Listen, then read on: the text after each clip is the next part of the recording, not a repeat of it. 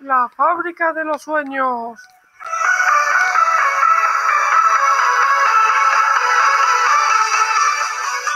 Junto a la Recacha Music, la fuente con el agua más fresquita presentan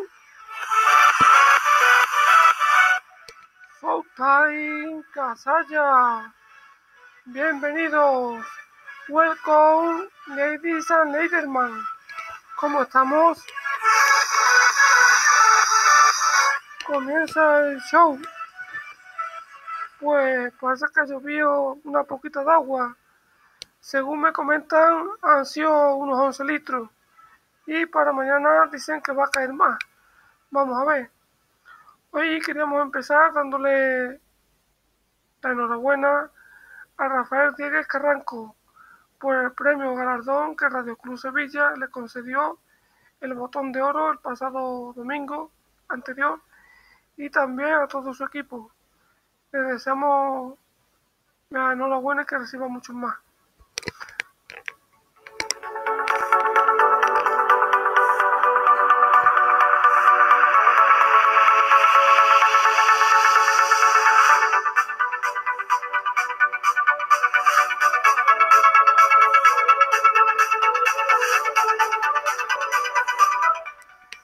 Y bueno, el tiempo está, como saben, tuvo el día muy bueno de agua, aunque no llovió un poco, apretar un poquito más.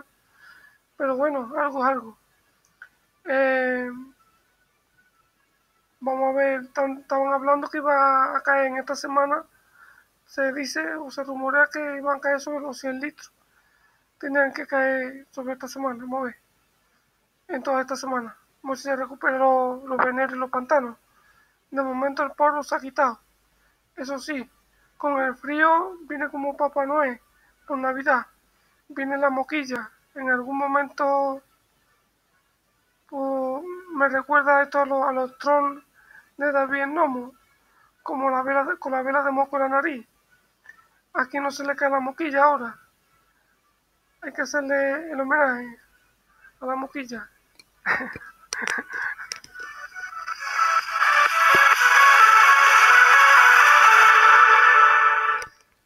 Y vamos a ver qué tiempo tenemos para hoy. Hoy en este momento hay unos 8 grados, pero hemos tenido 5 de mínima y también a las 8 y 13 de máxima vamos a tener. Eh, ponía hoy 2,5 milímetros de lluvia, que patrón te estaban diciendo a alguien que iba a caer algo. Vamos a decir que no cae. Para mañana va a estar el día, a ver tú que están diciendo ya que para martes va a caer tanto y cuanto. De aquí no pone de que no va a llover. Para el miércoles eh, tenemos agua.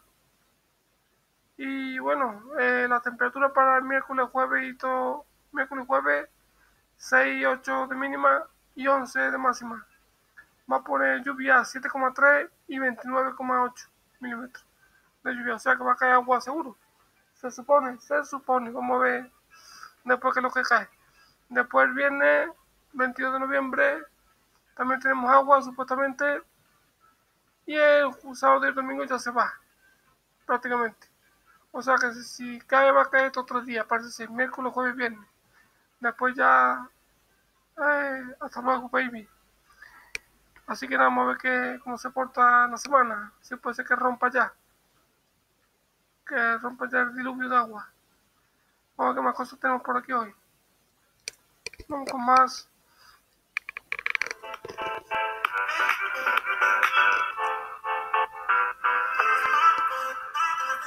Estamos teniendo un problema con las cuentas del grupo de Facebook, eh, con las cuentas de Facebook.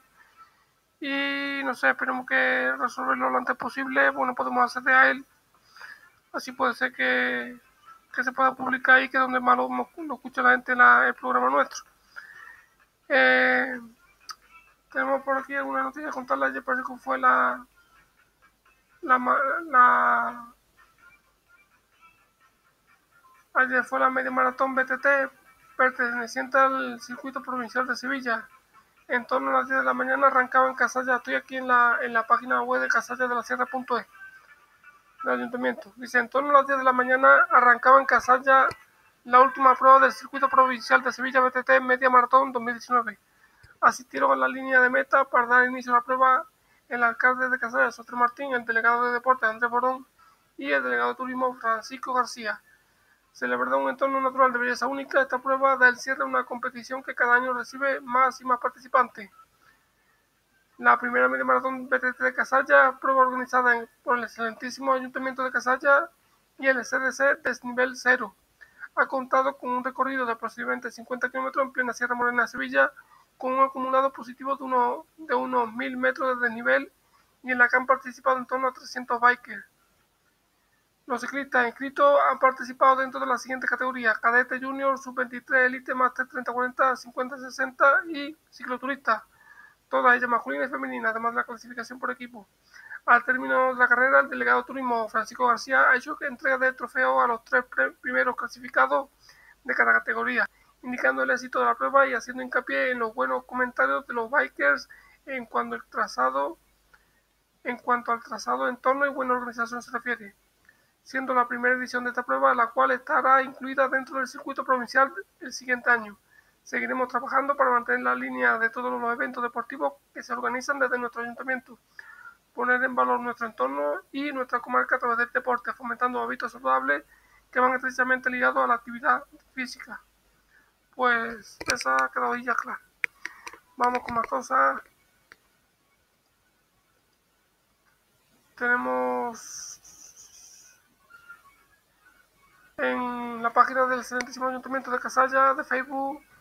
Dice, desde la Delegación de Deportes de este ayuntamiento se hace entrega el botiquín de primer auxilio y gorra a la Asociación Senderista de Casalleros.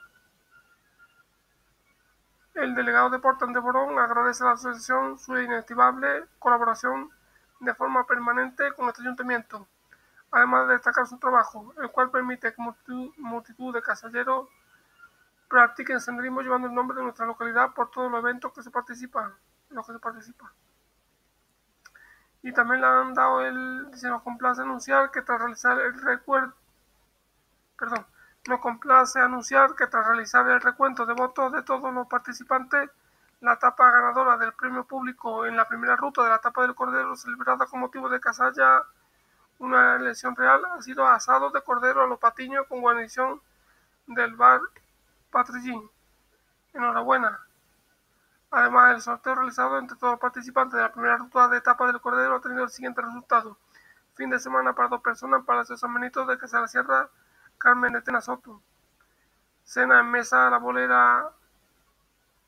Cena en mesón la bolera. Pablo Trancoso Ruiz.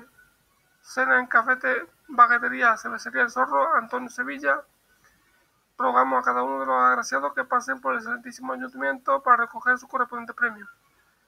Agradecemos a toda vuestra participación de la primera ruta de la etapa del Cordero Comensales Bar, etc. En especial a Corsevilla y Palacio San Benito. Y la bolera y baguetería, el zorro. Pues ahí quedó eso. Vamos con más cosas, vamos rematando. Eh, ¿Qué más hay por aquí? En la, en la semana, en el mes cultural de noviembre. Ya dimos algunas noticias el otro día, vamos a ver qué más tenemos por aquí. Eh, como saben, ha sido el recital flamenco el día 16. Eh, hoy tenemos exposición Rojo Vargas y otra historia sobre la conocida creación del ilustrador Daniel Torres, un dato Casa de la Cultura. El 28 de noviembre, conferencia quinto centenario de la travesía de Magallanes. El Cano, contada por una capitana andaluza que ha dado la vuelta al mundo en su bolero, a cargo de doña Marisa Soler, a las 7 de la tarde en Salón de Actos de Casa de la Cultura. No se lo pueden perder, eso va a estar muy bien. Mm, y vamos, pues vamos finalizando, va a ser más cortito, bueno, no sé, no sé dónde vamos a llegar. Eh, con tono de humor, algo que nos comentó alguien. Eh, dice alguien que parece que no le gustan los trajes de época. Decía que en aquellos entonces las mujeres con esos vestidos parecían pavas hechas en los huevos. Serían pavas culecas, decimos nosotros. Pero bueno, a nosotros nos hace mucha gracia. No es sin ánimo de meterse con nadie, sino que algo que hablando de aquellos tiempos, como vestían y demás. Que parecían pavas culecas, papas hechas, papas hechas los huevos, dijo precisamente, una mujer. Me pareció simpático lo que nos contó. ¿Qué más? Escuchen el programa de ayer. Eh, ayer tarde, eso de las 8 o las 9, pues grabé sobre lo que trata la novela El secreto de los chamanes. Mm, es una, la verdad, una historia preciosa que tiene un poco de todo amor, traición, conocimiento de medicina, psicología, eh, hasta dieron a luz, una mujer dio a luz en medio del desierto, parió la nena, eh, búsquenla en la biblioteca pública de Casalla de la Sierra por Bárbara Watt, El secreto de los chamanes. Escúchenlo, eh, como tenemos problemas, estamos teniendo problemas con, el grupo de Facebook. Acuérdense de Radio Líder, que también está todo subido, o en YouTube, Radio Casalla, está subido también. Eh, el secreto de los chamanes, el libro azul. Eh, búsquelo en la biblioteca, está muy bien. 654 páginas que le van a, le van a hacer vivir la vida en el desierto de los Estados Unidos, el cañón del Colorado y todo aquello por, por allí, en aquellos tiempos de hace dos, dos tiempos, 1810 con los indígenas y el 1940 aproximadamente, 1940, cuando ya Ray Faraday, que era un familiar de, de Faraday que, que, se conoce de, no sé si era de la electricidad, me parece que era. Y bueno, más cositas que tenemos por aquí. Vamos a contar algo bonito.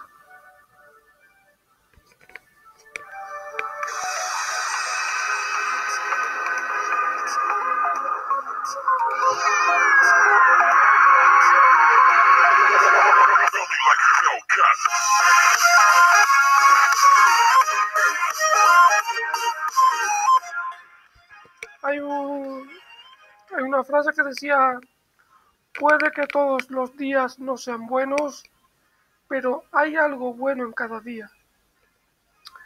Y hoy vamos a hablar de, a ver, tengo aquí, como saben, está la catequesis funcionando, para los que se quieran confirmar, y este viernes pues fuimos, y bueno, está bastante buen ambiente allí de gente, pero como fuimos antes de tiempo, que no, no fuimos antes de tiempo, tuvimos un poquillo por allí por la iglesia y demás, y cogimos la revista El pan de los pobres, que curioso también el nombre que le han puesto a la revista, y me lo trae, me, dice, puede coger aquí lo que quiera, un hombre que está allí.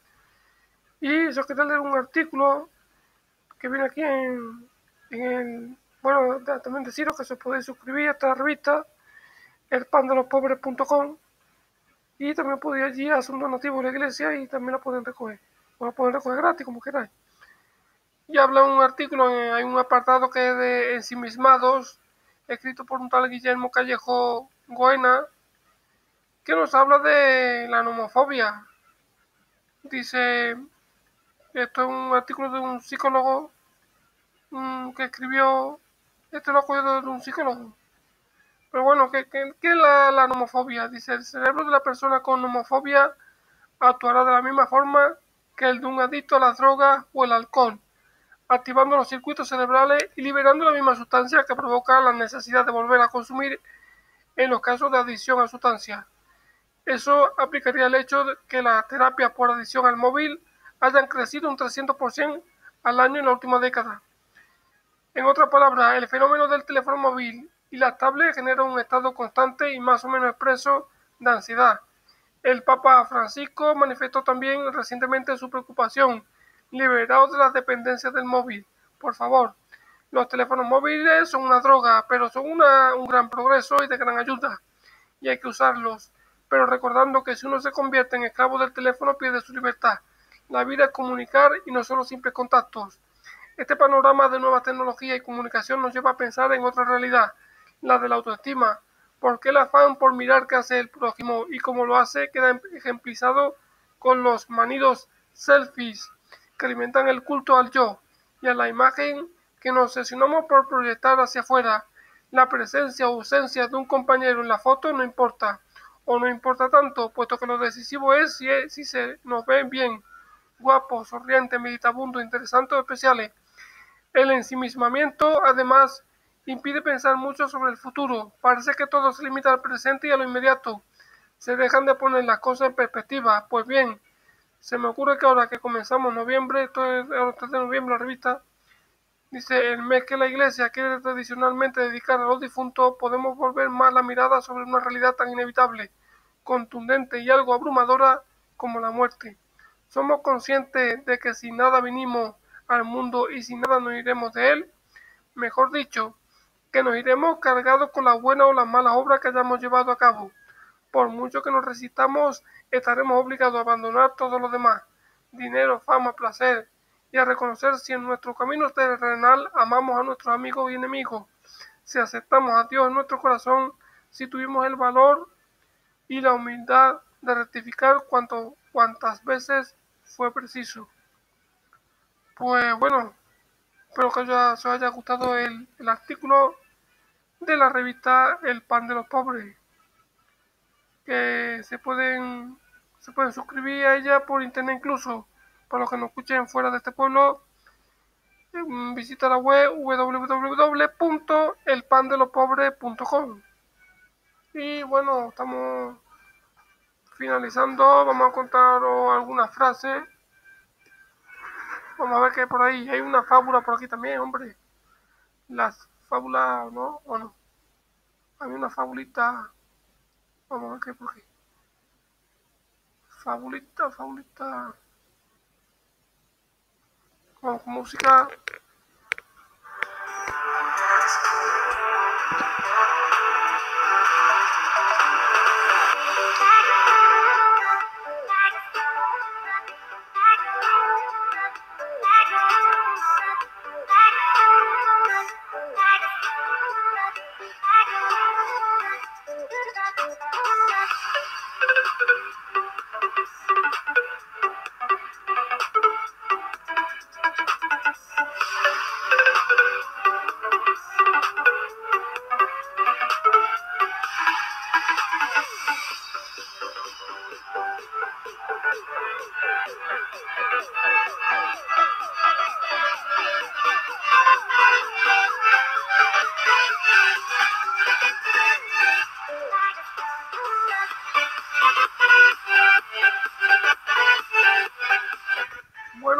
Interesante para los niños. No he encontrado. Pues, ¿qué tenemos por aquí? Dice, los dos conejos, una fábula sobre la distinción entre lo importante y lo superfluo.